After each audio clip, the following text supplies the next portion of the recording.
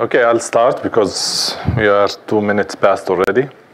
So I am uh, Anas Nashif from uh, the Open Source Technology Center at Intel. I will be giving a short update since the last time we talked about Zephyr in, in San Diego in the same conference, basically in, in the US. And uh, Benjamin Walsh from Wind River will be giving an update or a status uh, or an overview of the unified kernel uh, uh after my quick intro into what happened since, last, since we, we talked about Zephyr last time. So I'll start with the update, and for some of you who are hearing or you know about Zephyr for the first time, so it's a, it's a microcontroller operating system, very small memory footprint. Basically, we can run on systems with 8K of RAM. Uh, it's an open source under Apache 2.0 license, hosted by the Linux Foundation, and supports multiple architectures. So this is uh, something that uh, the project itself was released uh, early this year in, in uh, at in Nuremberg and Embedded World, the project was launched. It, it's based on uh, an operating system that uh, was there already, so it's not something that has been done from scratch. And it's uh, currently supported, or I mean, we have four Platinum members in the project, NXP, Linaro, Intel, and Synopsys. Uh, at the conference here, there are a lot of talks about Zephyr. So I'm not going to go into the details of you know the, the subsystems. So we have we have talks about the obviously I will uh, there will be uh, Ben talking about the kernel. We will have talks uh, uh about Bluetooth, about the IP stack, power management, uh, there is also some proposals and, and uh, a, little bit future or forward-looking uh, proposals to change how we do things in Zephyr in terms of configuration from, from Linaro. And so there are a lot of topics that are covered in, in different, in different talks. So I will basically uh, address or talk in, in general uh, on what we have right now in Zephyr and uh, what, will, uh, what we have released in, in Zephyr 1.5, which was released like one month ago or two months ago, and what will be coming in the next release. But uh, for, for in terms of uh, a basic introduction, Zephyr is, uh, has the goal of providing an OS that runs best on MCUs, where for wearables and IoT, where the cost of uh, uh, silicon is is is uh, is minimal. So I mean that's why we have the focus. I mean footprint is one of the main things that we always look at and and and monitor. Yeah, uh, it's very important for us that we uh, stay. Uh, uh, with, with, with these goals that we have set when we started the project. So we, we, we continue adding features, we continue uh, supporting additional architectures, additional boards, but the, the one goal that we have is actually footprint, memory footprint. We want to be able to run on the smallest of devices. Uh, and that's why actually from the from the, the design point of view we we we, we made Zephyr uh, highly configurable you should be able to go and uh, configure in or or out any uh, feature that you have in the kernel. Uh, the kernel right now, as we have it today, operates in two modes. So there's the nano kernel and the microkernel.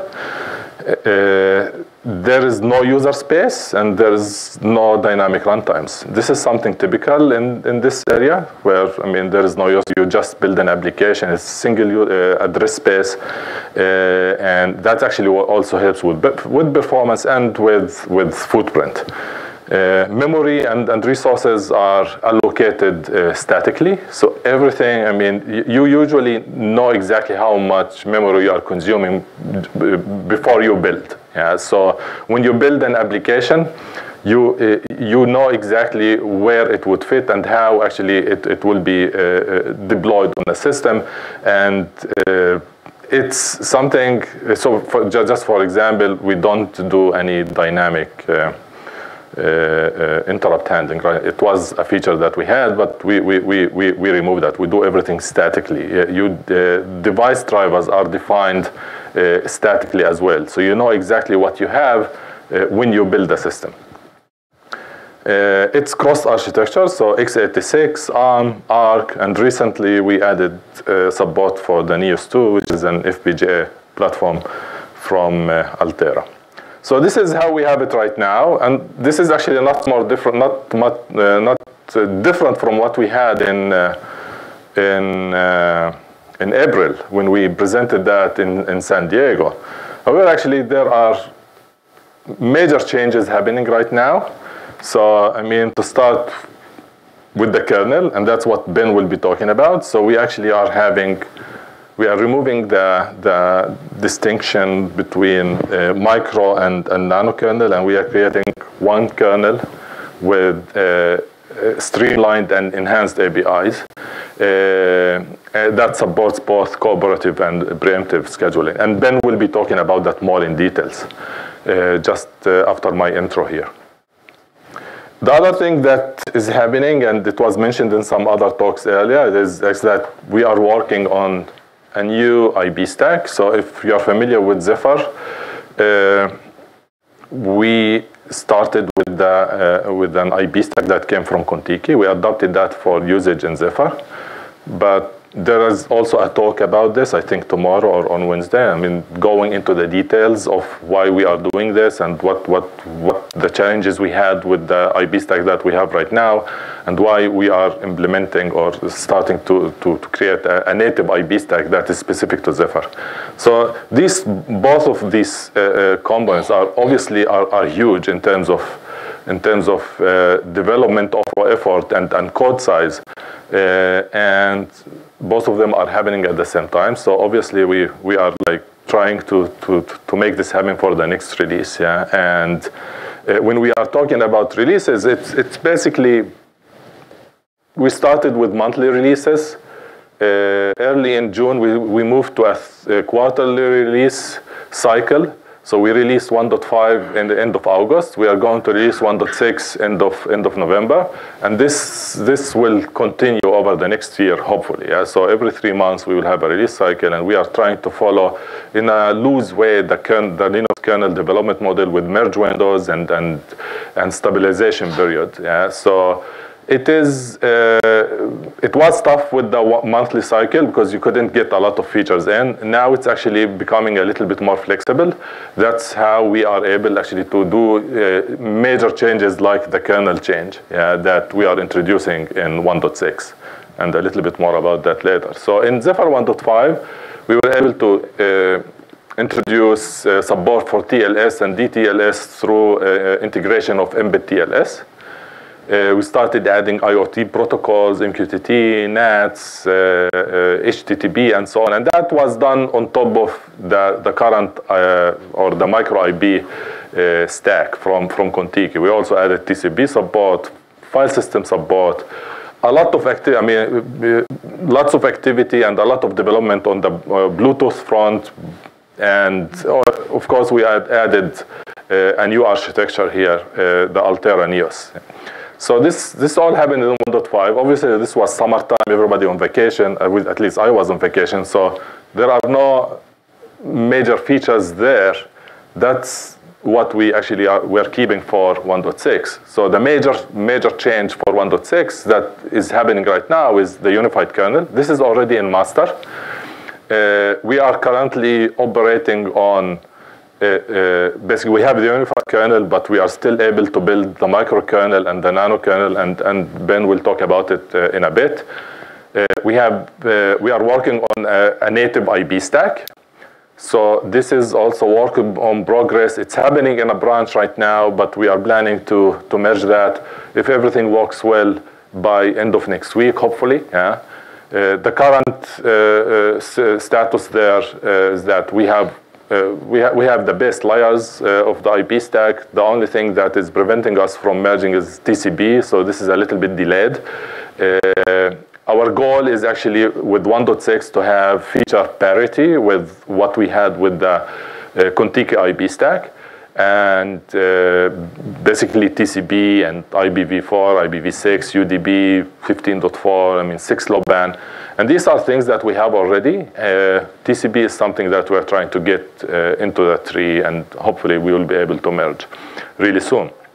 Cortex M0 is uh, another big thing that is happening right now. It's, it's not in master yet, but the, the batches actually have been submitted or were submitted last week and they are uh, undergoing the, the review process right now. This was contributed by uh, uh, Linaro and, and uh, uh, in cooperation with, with Nordic. So a lot of people, a lot of groups are actually working on that. And this would move us therefore to, to the, the low-end devices from different ARM vendors. So it's, it's, it's, exciting news, and this actually would be in 1.6, and we, there are a few uh, boards that would have the support uh, immediately, like the Nordic NRF51, which is, uh, happens to be also on, on one of the reference uh, devices, like the, the, the, Arduino 101. So Bluetooth link layer is another big change that was uh, uh, started this summer or added, contributed by, by, by Nordic, and it's currently or actively being worked on. So this is already in master and it's, it, it will be in 1.6. And there will be a, a, lot of boards and, and SOCs that are, have been added or will be added uh, over time. There's a lot of activity now on the uh, uh, ARM architecture front. So we, we see uh, boards from uh, STMicro, uh, Atmel from ARM, uh, from, from uh, Linaro, the reference board that was presented in Linaro Connect two weeks ago. So there are a lot of there's a lot of activity there, and with 1.6 we will have uh, we will have a, a large set of uh, uh SOCs and features uh, available to us. Just doing a time check. Yeah, okay, we are good. So. And to be able to support this, this uh, wide variety of SOCs and boards, we, we, we, we are basically trying to, to abstract the, the device drivers as much as possible. This is something that started with the few boards that uh, were introduced or came with Zephyr when it was launched. Obviously, we are learning now that you know, to support the, the, the you know, the, the ARM SoCs, the ARM boards, and uh, Intel boards, and ARC boards, and, and, and, and, other boards, we really have to be flexible in, in the way we, we, we, on how we do things. And one way actually that we, we, we, we do that, at least in terms of how uh, we support the different architecture is that uh, for Intel, there's the QMSI, the Intel Quark microcontroller software, which abstracts or gives us a complete HAL solution or driver uh, set for uh, Intel Quark uh, SoCs, similar to what ARM Cortex, uh, uh, sorry, uh, the CMSIS from ARM provides. so we are trying to abstract that as much as possible and to enable support for these SOCs using these uh, uh, vendor-provided uh, headers and APIs as much as possible. Of course, you can go and implement your, your board or your SOC directly using the Zephyr APIs, but the idea is that all of the complexity of, of HALs and uh, adding drivers is abstracted using uh, uh, Zephyr APIs. So I can actually write an application for an Intel MCU and still move it or use it uh, uh, or, or build it for ARM and still get the same functionality. Obviously, if I have the same peripherals attached. Yeah, so if I have a sensor on an Arduino 101 and a sensor on the same sensor on, on the Freedom board, I actually my application should be uh, from NXP should be actually exactly the same. I shouldn't be changing anything because I will be talking Zephyr APIs uh, the kernel doesn't really care about the, the, the, architecture when you configure it. So it, it gives you application portability. And from an end user uh, perspective, this is actually great news. And in terms of how we do that uh, on the surface, uh, so we have here different levels of how we actually uh, do this. Obviously, there's the architecture. There are different CPUs or cores implemented per architecture different SOC families, serious and different. I mean, this is this is we learned basically that if you want to support the, uh, this level, for example, when it comes to ARM and, and also at uh, Quark, uh, for instance, you really have to create this multi-layer uh, uh, architecture. Otherwise, you, you will not be able to support the variety of, of SOCs on boards. And that's exactly what we have right now. So, so try to share code as much as possible among, for example, Cortex-M. Yeah, I mean, when, obviously you don't want to implement that for every SOC. Yeah, and when you go up, yeah, like for the Nordic uh, on Nordic NRF5, some code will be shared even between Cortex uh, M4 and M0, especially when it comes to drivers. Same thing with the Intel platform. Some of the drivers would run on the Curie and, and the SE. I mean, it's, it's almost the same hardware. So there is no reason why uh, uh, everybody actually goes and implements the, their own drivers for every SOC. So driver sharing and code sharing is one of the goals that we have in the Zephyr tree right now. Uh, in terms of security, this is basically the, the basic building blocks. This is not the how we want to do security uh, on a grand scale. This is uh, the functional areas of security that we have implemented, at least in, uh, uh in Zephyr itself. So we have TinyCrypt. We started with TinyCrypt. We recently added uh, Mbed uh, TLS to, to, to, to support TLS and, and DTLS in this case.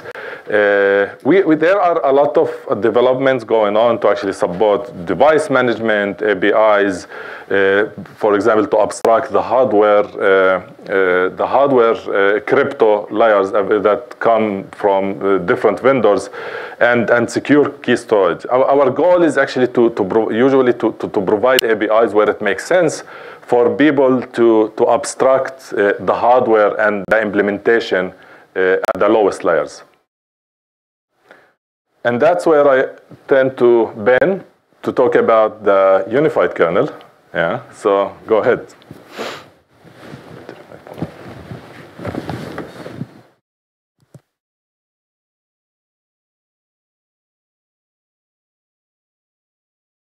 Testing. All right, so um, yeah, I'm going to talk about the unified kernel for uh, for Zephyr. So the first question you might have is that uh, why do we call it the unified kernel? So like uh, you could have seen in uh, Anas's uh, presentation, uh, the Zephyr kernel actually consists of two kernels. Um, we have two types of threads in Zephyr. one of them is the cooperative threads, which are we call fibers and the uh, preemptive or preemptible threads that we call tasks. And unlike what you might have uh, thought about the, how, how it is implemented, it's not implemented in one kernel. It's actually two kernels that are responsible for uh, the different types of threads. So the nano kernel is at the core of the operating system, and it only knows about one task, and it knows about all the fibers, so it manages the fibers. And the microkernel um, is actually written as an application on top of the nanokernel, and that one is uh, task aware, so it manages the tasks, and it doesn't really know about the fibers. Um, on top of that, we have uh, two sets of APIs, so one for each, uh, uh, one for each kernel. So hearing this for the first time, that might be your reaction. Uh, so of course, there's a reason for why it was built like that. Uh, so the first thing is uh, separation of duties. Uh, so the nano kernel is uh, basically uh, responsible for all, for all the architecture specific uh, code. So if you want to port Zephyr to a new architecture platform, you only have to port the nano kernel. The microkernel, on the other hand, is all written in C and it's completely architecture agnostic. Um, originally, uh, the nano kernel was only, only meant uh, as a means of implanting the microkernel. So uh, it was not uh, really uh, like basically in the original operating system from where this comes, it was never meant to be run on its own. Um, another reason was that uh, the microkernel was we call VSP capable. So VSP means uh, virtual single processor, which means that you had you could have a farm of CPUs connected uh, between each of them by some link, uh, like hardware link layer, and um, they would be uh, uh, basically operating as one CPU. So you could have a, a task on one CPU and a like a semaphore sitting on a second CPU, ta another task on a third CPU, and they could use the semaphore to synchronize between themselves. And the, um, the VSP layer, uh, the communication was actually uh, written like uh, uh in a message-driven uh, paradigm, which was using some kind of a send receive reply. So basically you send a command to uh, the kernel and you wait for the reply to come back before you continue execution. so that gave us some good things. Um, so first of all, the, the nanokernel scheduler is extremely simple, which makes it uh, very, very fast, especially when coming out of an ISR. I'll show that a bit later. Um, the nanokernel is also extremely scalable. Uh, like I said, he said like about 8K maybe for a system, but we can, like if you're not running a lot, we can scale a kernel down a lot, like for like maybe uh, two, three, two, three Ks of uh, code and data. Um, that gave us a, mi a mix of co-op and uh, preemptible, uh, pr sorry, preemptible uh, threading. So you can use uh, co-op threading if, uh, for example, your application, you just want multi-threading, but you don't want to bother with locks. Uh, so you can have um, basically implicit locking by having your threads just yield when they're done with the shared data structure instead of having to take a mutex or semaphore to synchronize between them, themselves. Uh, we have per context type APIs. So that means that uh, you we have functions for task and functions for fibers, and uh, depending, uh, yeah. So so basically that allows you to uh, to call APIs without the API having to do some runtime checking uh, to decide like what's the what's the exact logic that it has to use. Um, the microkernel is implemented as a fiber, so uh, as a, a, thread that's known by the operating system. So every uh, every API call into the microkernel uh, basically is single-threaded to that fiber, and that allows the implementation to be done without much interrupt blocking, or actually the microkernel doesn't really use interrupt blocking at all. So uh, that gives you a very good interrupt latency because, uh, yeah, you, you like interrupts are pretty much never locked. Um, the out of ISR path is extremely efficient because the nanokernel doesn't have to take a lot of decisions. And uh, like Anas said, uh, actually the code base is from an old uh, operating system that uh, Wind River acquired around 2000. Uh, so it's been in, uh, in platforms in the wild before. so two kernels give us two schedulers. Um, the nanokernel scheduling uh, is very, very simple. So basically, it's aware of all the, the fibers in the system. It has a run queue of them in prioritized order, and it knows about one task. So it's going to uh, schedule the fibers like in the order that they're queued. And um, when it's done with all the fibers, then the task has lower priority, and it's going to context switch that in at that time. If you add the microkernel on top of that, uh, like I said, the microkernel is implanted as a fiber. So basically, it ends up in the list of fibers like any other fiber from the, from the nanokernel's point of view. And the microkernel itself has a run queue of all the tasks that are ready to run in prioritized order with uh, optional uh, round robin if you uh, have um, uh, multiple tasks of the same priority. Um, the microkernel is going to schedule in uh, the tasks like one uh, based on their priority. And what it does really is that it tells the nanokernel which task is the task that it has to know about at this moment in time. Um, okay, so this is the out of ISR rescheduling. Uh, like I said, it's pretty simple. Since a fiber cannot be preempted by uh, another thread in the system, um, when an ISR exits, it, it checks if a fiber was running, and if so, it just goes back to running that fiber without uh, taking any other uh, rescheduling uh, decisions. Uh, if a fiber was not ready, it means it was the task, so it's preemptible, and a fiber becomes ready, goes and context switches that fiber. If not, it goes to, back to running the task, which is yeah, pretty simple scheduling. Um, so we had some good, there's also some bad. Uh, the fact that we have two sets of APIs, one for the nano, from, one from the micro, Uh, and on top of that, um, some of uh, it's there's only a subset of that API that's available like on all. Um, how can I say that? Like at all time. So. Uh, of course, if you're not running a microkernel, you're only running a nano, you only have access to the nano kernel API. Um, and if you're running a microkernel, you have access to most of the nano, nano kernel API, but not completely because there are some clashes between some, some micro and nano kernel uh, APIs.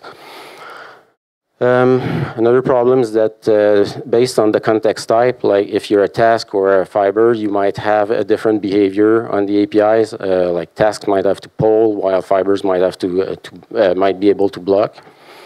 And the big one is that there's no task-to-task transition in the microkernel. So if you uh, do an operation, if a task does an operation on a, a microkernel object, and that uh, uh, uh, sorry that causes a context switch to another task, there's actually a transition into the the sorry the microkernel fiber first, so that it actually does the operation on the uh, the microkernel object, and then uh, decides if there's a context switch that has to be done. And at that point, the context switch happens into the uh, second task.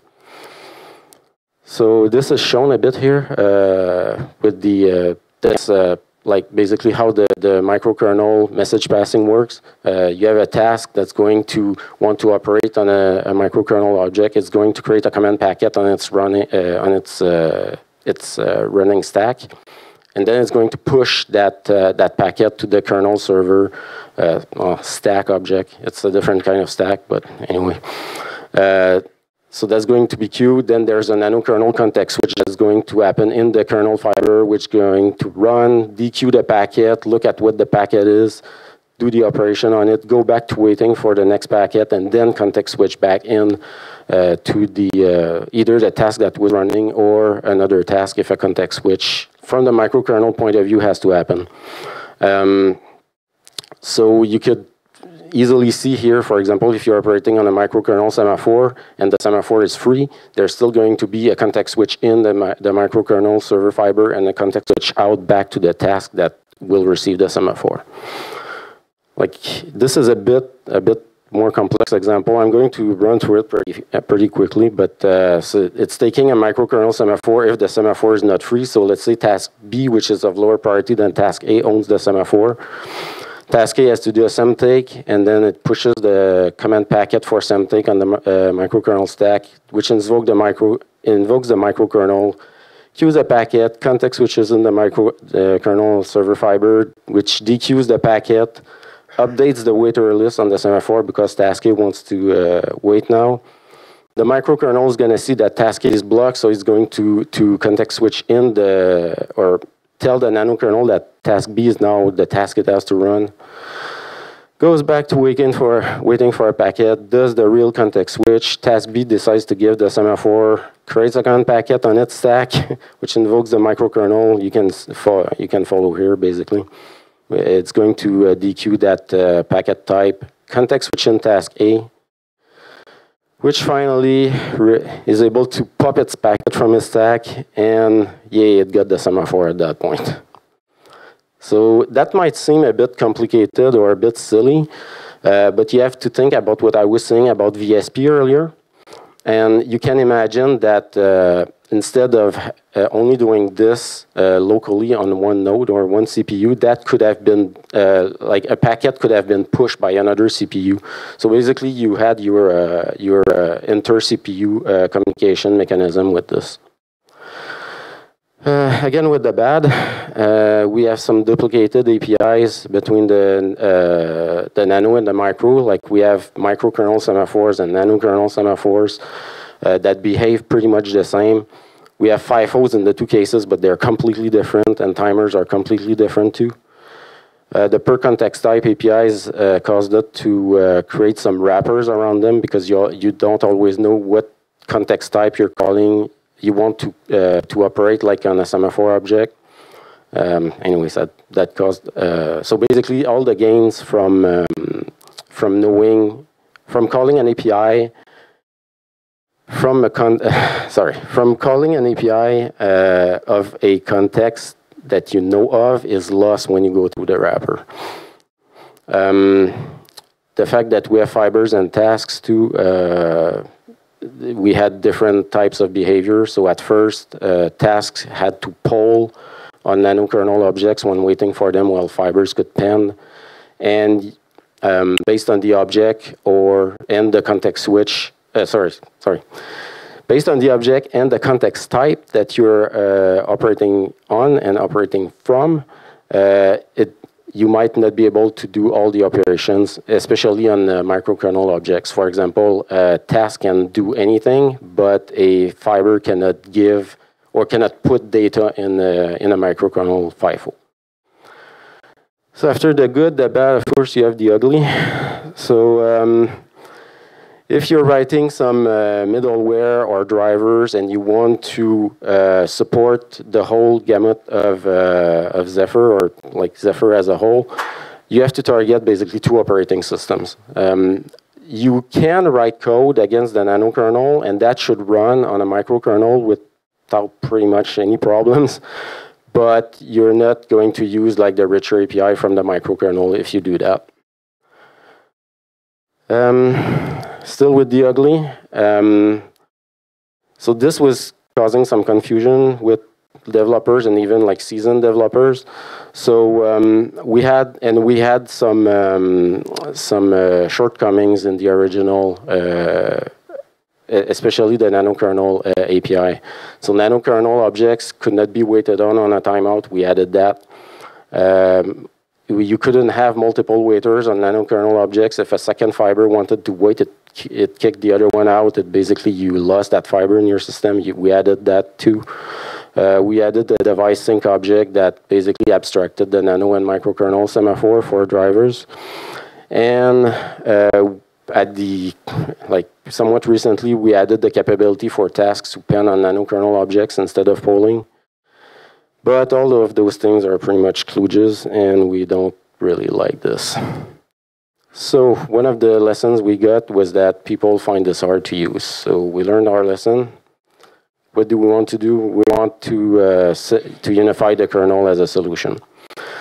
So the, the approach is, quote, remove the microkernel. By that, we, uh, I don't mean that we're going to lose the API or anything like that. It's just that we're going to transition the scheduler and the API into one kernel, which is uh, built based on uh, what the nano kernel was.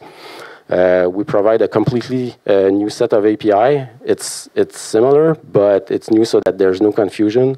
And that's uh, basically a, an amalgamation of the nanokernel and microkernel uh, APIs. So what that gives us is a, a, a more well-known preemptible RTOS model that's somewhat similar to something like VxWorks, if you're familiar with. Um, well, yeah, like I said, we have the new Streamline uh, uh, API. Uh, there's no duplication anymore, so there's only one type of semaphore. There's no micro, nano, whatever. Um, we don't have the context-sensitive APIs anymore either because uh, most of the time people were using the wrappers anyway, so there's no point of having a wrapper around an API that gives you supposedly better performance. So the, the, all the decisions are taken at runtime now. We were able to reuse a lot of the code, mostly the algorithms from the microkernel uh, objects, the way they were implemented. So we changed the implementation, but kept uh, the way they were functioning. We're removing the microkernel fiber, of course, so we're saving probably like 2, 3, 4K of uh, RAM in that case because you don't have to provision it with its own stack anymore. Um, and we're providing actually a full legacy uh, layer uh, API on top of the new API. So if you have code running on Zephyr right now, your code will be able to at least compile on the new kernel you might have to do some slight adjustment, uh, like uh, some. It might be. Uh, it might like need more space, for example. Um, but we're looking into that right now. So with one kernel, you have one scheduler now instead. So basically, the kernel keeps track of uh, what uh, what threads are ready at each priority no, we, we don't have like fibers and tasks anymore. We only have threads. And their differentiation, if they're co-op or preemptible, just depends on their priority. So positive priority, you have a preemptible thread. Negative priority, you have a cooperative thread. And you can actually switch at runtime between one behavior to the other just by adjusting a task priority. And on the right, you can see that uh, depending uh, where you put that uh, co-op preempt uh, uh, fence, uh, you can end up with an all preempt or an all co-op system if you desire, and that allows us to actually take take some of the code out and the decisions out, and you can have a faster running system in that case. Uh, the out of ISR scheduling is a bit more complex now, uh, so a bit slower on some cases because we uh, we have to take a couple more decisions. But the case that we were uh, the more interested in in keeping at the same speed was uh, going back to a cooperative thread that was uh, that was preempted by an ISR, and for that we're actually we're hitting our goal there. Um, also, if you decide to go with an all co-op system, you only need this part. So code reduction there, and the decision tree is uh, simpler as well. Actually, there's absolutely no decision to be taken. If you go with an all preempt system, you only need this part. So you're cutting a bit of uh, decision uh, making as well. So this is the same example as before, taking a semaphore in the unified kernel, which becomes much more simple.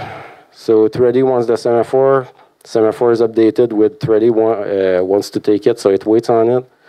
Context switcher, of course, goes uh, context switches in thread B, which gives the semaphore, which uh, when it does that, it dequeues thread A. Thread A is of higher priority, get the semaphore. Much more simple than before, and that's what the that's the model that people are used to, basically. Uh, some other benefits that the unified kernel give us. So we have a separate thread, a separate idle thread from the init thread. Uh, before they were the same thread, so that caused some problem when trying to uh, pan, uh, especially during some driver initialization. Now that's gone. We don't have to uh, have a workaround around that anymore. Uh, you can have the all co-op, all preempt modes. Uh, we're taking great care to write deterministic code, so that means, of course, not taking uh, interrupts for unbounded amount of times or um, running through loops or having interrupt like locked, like when running through loops uh, that depend on the amount of tasks in the system or uh, like packets on a queue or something like that. Um, we have a new preemption locking that basically mimics what the um, uh, what was happening with the kernel server before. So instead of single threading to a second uh, a thread, you're able to lock preemption. That gives you pretty much the same behavior, but very lightweight because you don't have to do the context switches. Uh, we have on the fly co-op to preempt switching, like I said, just by adjusting priority, and we're prepping uh, for a tickless kernel. Uh, so the API is not uh, for waiting is not tick based anymore. It's based on the wall clock time instead some numbers. So uh, our main goals were to improve the micro performance and footprint mostly so that people have access to the richer API, uh, but with way better performance. To achieve that, to achieve that, we expect, expected a bit of fallout on the uh, nano kernel only uh, uh, systems. So um, we're getting like uh, we, we're having a bit worse performance when you want to context switch like co-op to co-op or ISR into a preemptible thread that was running, but that was expected because of the scheduling decisions that have to be take, uh, taken now. But if you look at the improvements uh, for on x86 first, uh, so the very first one might seem like not like uh, an improvement, but actually that was one, like I said, one of the goals we were trying to hit. If you take an ISR while a cooperative thread is running, and you go back to that cooperative thread, we don't take any uh, performance hit right now. All the rest are pretty good improvements actually. If you have to do a reschedule uh, because a preemptible threads was interrupted and you want to go into a new preemptible threads, we're getting like two and a half times performance, uh, two times on uh, preemptible thread, two preemptible thread uh, context switch. Uh, that's basically that happens because you don't have to do a double context switch twice anymore. Operation on mutexes are two times faster too, and operations on semaphore actually we're getting like six plus times uh, faster uh, because of all that context switch that doesn't have to happen, and uh, the semaphore uh, code is extremely simple. Uh, on ARM, we're getting pretty much the same thing, uh, except like on the semaphore improvement, which we're getting actually 10 times to 20 times faster times. And one of the reasons is that the, uh, the way the ARM context switch is implemented is via exceptions. Uh, we're, we're talking about Cortex-M here, so if people are familiar with, with that, um, basically that's what the, the, the, way that ARM uh, suggests that the context switches are implemented. Uh, so this is an ongoing effort. We're not done yet. So we're mostly focusing on performance and footprint right now. Uh, we want to reduce the nano footprint. We want to improve the performance in co-op only mode, and hopefully uh, get some more performance in micro uh, uh, yeah, in microkernel only. sorry, in microkernel preemptible only mode. yeah. So that's basically it. Yeah. Thank you, Ben. So in terms of summary, yeah, I mean, the, the project itself is open source, permissively licensed. I mean, it's open for everybody. I mean, you can look at zephyrproject.org. Uh, that's, uh, we have Gerrits, Jiras, everything is done in the open. We have mailing lists and so on. So please visit the, the project uh, to, to get involved there. Uh, it's, I mean, as I said earlier, it's modular, configurable, and scalable design. That's that's uh, the goal. We need to be able to run on the smallest of devices, but also, you know, use the rich uh, features that will come uh, with the with the unified kernel and that existed already before on on on the complex uh, or uh, complex uh, hardware configurations. Secure and connected. So connected. This is something obviously we are still working on yeah, in terms of uh, IP and uh, uh, networking, but uh, we are actually very well connected when it comes, for example, to Bluetooth. I mean, visit our booth upstairs. We have a few demos there using uh, BLE. Uh, yeah, and it's open for your contributions. Yeah, I mean, this is basically the project. Everybody can impact the architecture and the direction with code, obviously, yeah, not with talk only, yeah. Uh, and uh, it's open source project, open for everybody. And again, as I said, zephyrproject.org. And if you have any questions, mailing list. So I'm, I'm, I'm, rushing through that very fast because we are running out of time. And I want to leave some uh, time for questions. So if anybody has any question to me or uh, to Ben, Go ahead. What are some areas where you, where you the Zephyr project help? So up to now, actually, if you have asked me this question like two weeks ago, I would have said boards and you know and, and, and drivers.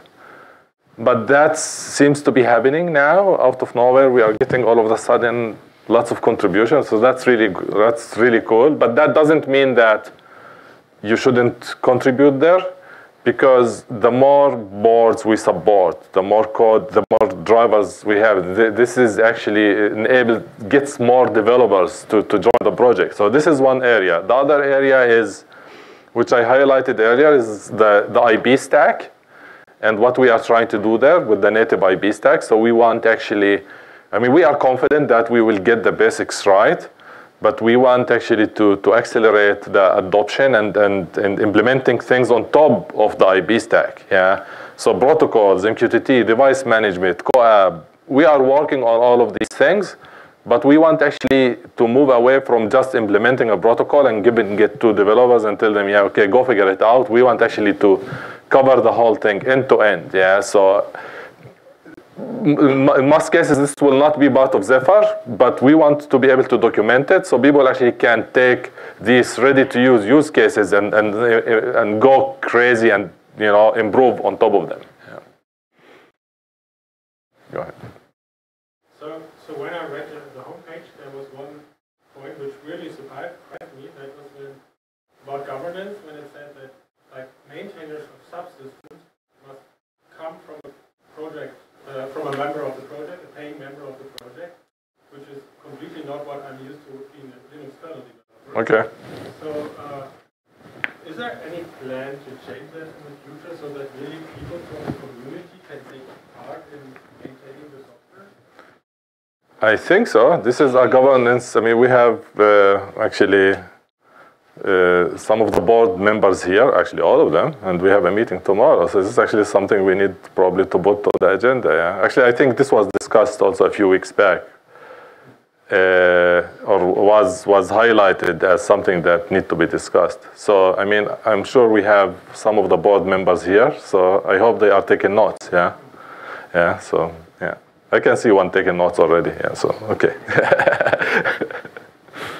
Yeah, but I agree with you. I agree with you, and this is something that I was surprised to see as well yeah, a few weeks ago. Yeah, probably it went through without nobody thinking about it, and uh, but that's yeah, That's right.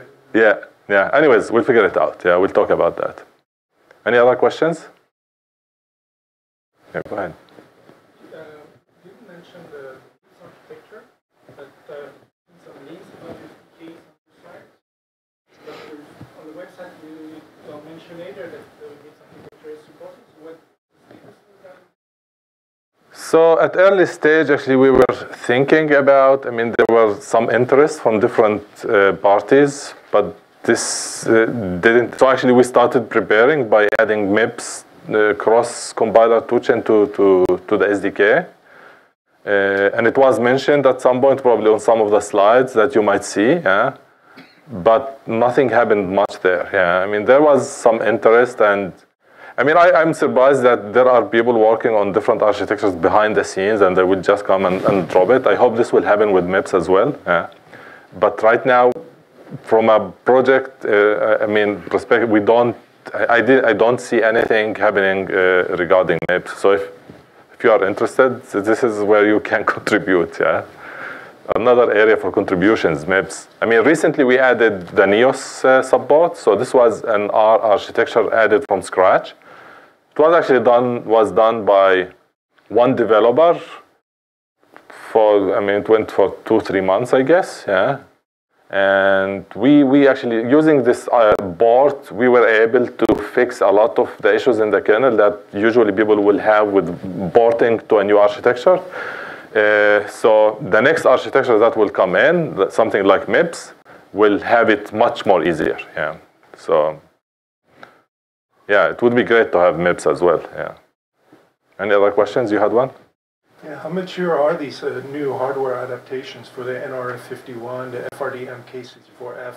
Can, can I just flash uh, uh, an image to these boards and start using Zephyr on these boards? Yeah, so the, the there is there is the the base board or SOC support. I think I am not sure. This is like things that is happening right now. There's heavy development, at least on the NRF 51, because it, it, it's going in right now. The NRF 52 has been there for a while. I mean, there is the basic I/O drivers. I, I I think some people from Nordic here know better, or somebody from, but the, the, you you get the basics working, yeah, and the, the Bluetooth functionality with the with the link layer and so on, yeah. But we are trying basically right now to unify the drivers and use the SDK from Nordic for some of the some of the drivers. Yeah. So I mean, the exact status. Sorry, I, I- I don't have the details there. Yeah, but the, I mean, if you come to the booth, we can get you hooked with some of the developers who knows better about that. And you still need uh, Apache Newt for the NRF51 to get Bluetooth working? Right now, yes, yeah, but soon we will be able to run Zephyr uh, on the NRF51. Yeah.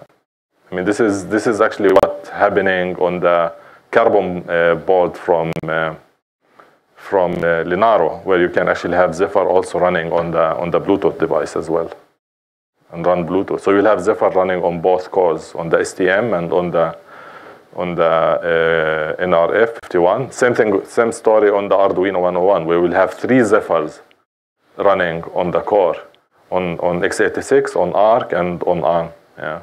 So this is this is actually great showcase for how Zephyr can actually be running on multiple architectures on the same core, on the same SoC. Any other questions? Okay, thank you very much. We are on time.